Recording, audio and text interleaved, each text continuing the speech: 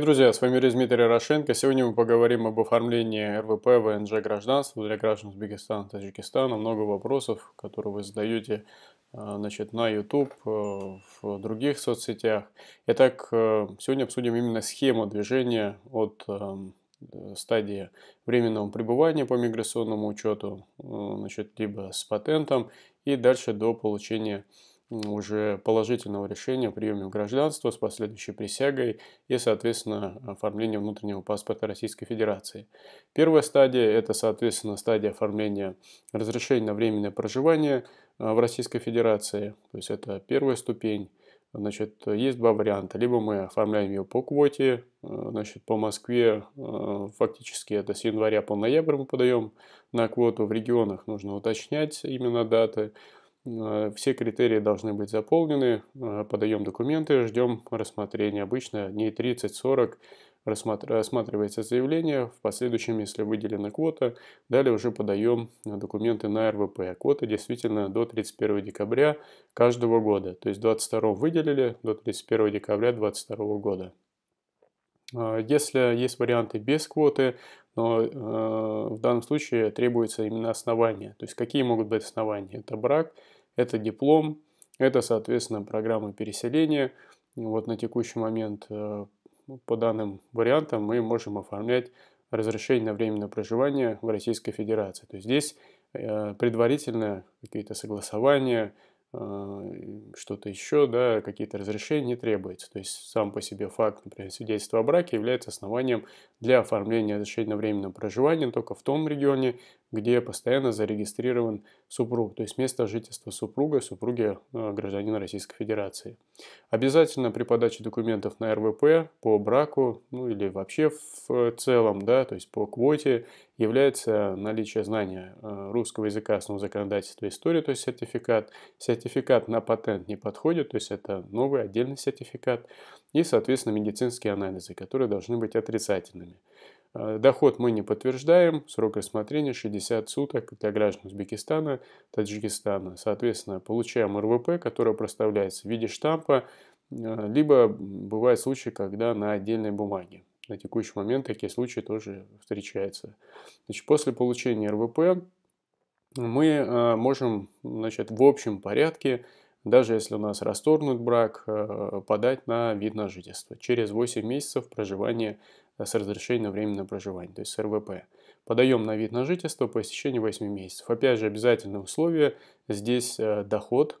Он может официальный, может быть неофициальный в виде вклада, справка из банка. Опять же, э, значит, знание языка, основного законодательства истории, новый сертификат уже на ВНЖ. И э, далее уже, значит, мы, опять же, сдаем медицинские анализы и подтверждаем основания. Как я сказал, это может быть общий порядок, это может быть брак э, с гражданином Российской Федерации, это может быть и э, носитель русского языка, но тогда мы сокращаем, то есть мы можем подать сразу, не выжидая 8 месяцев. Также у нас может родиться ребенок э, в браке, например, и тогда мы можем тоже не выжидать 8 месяцев проживания с РВП и подать сразу на вид на жительство. Срок рассмотрения вид на жительство в общем порядке составляет 4 месяца.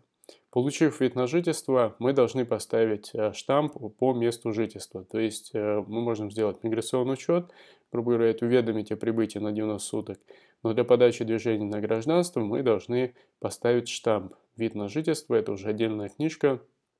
И в последующем мы рассматриваем основания для оформления уже гражданство. То есть, либо это общий порядок, но надо прожить 5 лет непрерывно с видом на жительство, и достаточно сложный пакет документов, там и доход подтверждаем, и знание языка, но э, есть основания в упрощенном порядке, то есть когда срок рассмотрения составляет э, 3 месяца.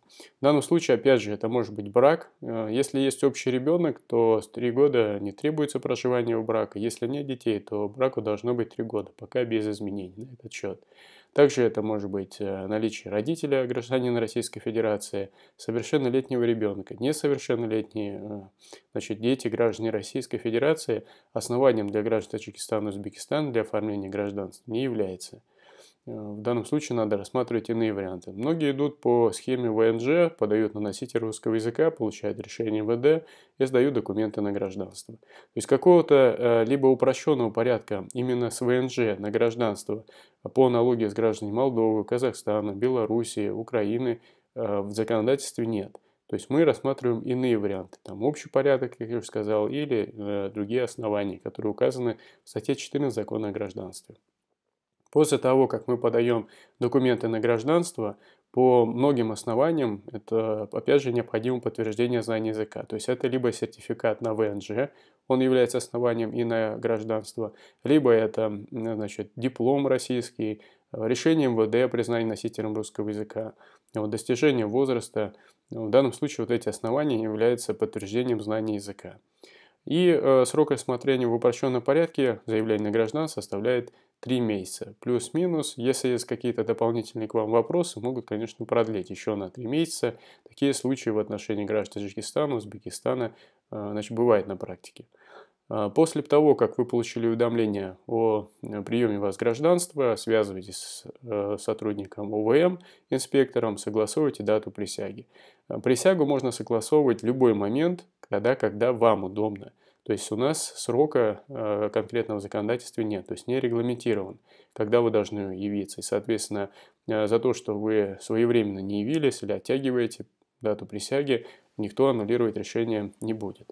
После того, как вы приняли присягу, оформляете внутренний паспорт с последующим оформлением загранпаспорта. И, естественно, уже пересекаете Российскую Федерацию по внутреннему либо загранпаспорту, зависит от страны э, выезда. Такие условия. Будем с вами на связи. Всего доброго.